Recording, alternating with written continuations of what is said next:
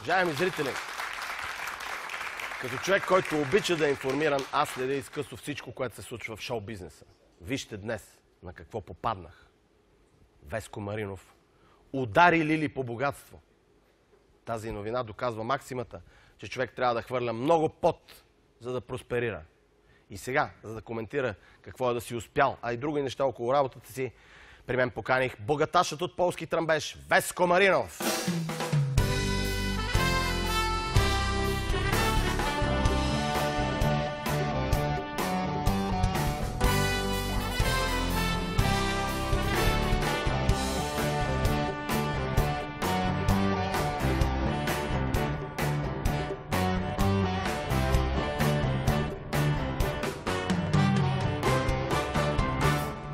Вечер, Веско. Добър вечер, Ивен. Толкова се радвам. Как аз- си? Ами как да съм? Добре съм. Ще помоля бенда да ме поздрави с Милионерче, не се подигравай. Гълза не се прави, че не я знаеш. А иначе, Иво, често се чувствам като и маняр, да ти Защо? кажа. Ами защото и аз основно си вадя парите от антики. Абе, Чети тук някаква статия, Да. В която пише, че си един от най-заможните изпълнители в момента. Това вярно ли е? О, да. Уф, значи препотих се докато го каза, да ти кажа.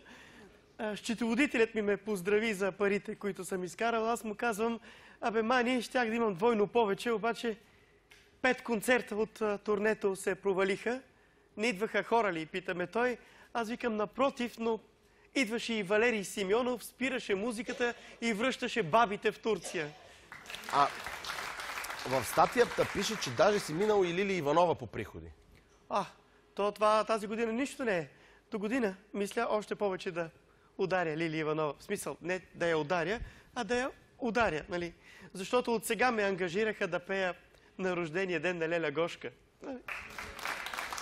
Кой в момента е най-богатия певец в поп-музиката? Ами гъмзата.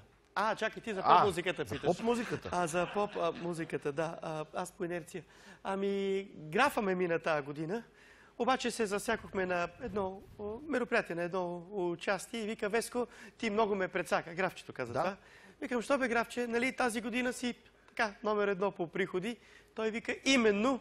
И сега съм толкова щастлив, че ние една кахърна балада не мога да напиша, нали разбираш? Аха.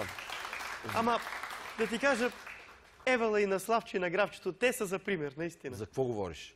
Е, как за какво? Виж, и двамата откъде започнаха. Само си го помисли. Да. Слави от мартениците, той от мандарините. Щом по градските витрини пак се трупат мандарини, всяко клапе се досеща, с дядо мраз ще има среща. Пусти го сега Див графа. хит, див, Да. див хит, да. Кажи ми, какво мислиш да правиш с толкова много пари? С моите. Да. Сега моят приятел Цецко Цветанов ме помоли да дам заем на правителството. Да? Благородно. Да, ама така аз му отказах, защото ми се струва така голям Dream Team, нали? Да. А иначе ще правя около светско пътешествие. Вече съм закупил за мен и близките ми самолетни билети за 100 бона от едно много готино момче от Фейсбук, Александър Николов. А, Да, а не си ли избързал малко с тия 100 хиляди ляш? Може Мисъл? па да е измама, бе. А от това не ме притеснява изобщо. Хич даже. Повече ме притеснява решението на, на столична община срещу песните ми, да ти кажа. Иве. Общо има общината с песните ти. Ами, песните ми са фрашкани с вино, нали? Да. А тия, нали, искат да забранят алкохола в градинките и А, това адски ме да. притеснява, разбираш ли? А, какво ти предстои в професионален план? Благодаря ти за този въпрос, това Разбира беше се. важно за мен. Значи, сега коледния концерт, нали, няма да го споменавам. Това е ясно. Да, коледният ми концерт е като Слави Трифонов, нали, институция, Да. нали, самия концерт. Но между другото да ти призная, Ивес Слави ми даде страхотна идея и аз като него реших да направя двоен албум с патриотични песни и симбеци. Нали? Да. Но вместо на детски градини ще го раздам на всички старчески домове.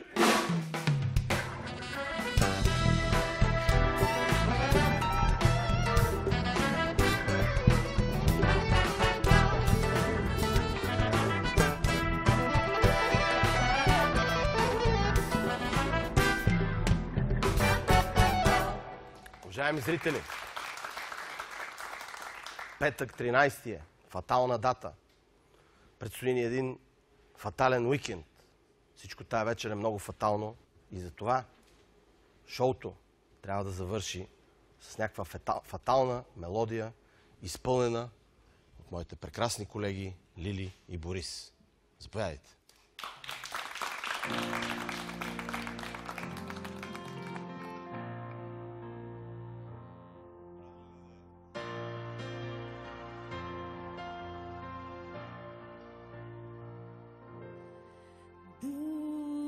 Думите съди,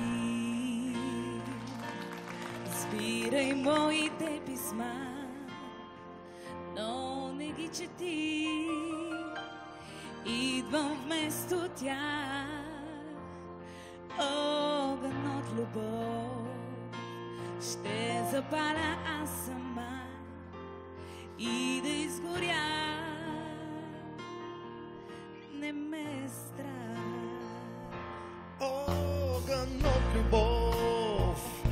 Най-щастливия пожар.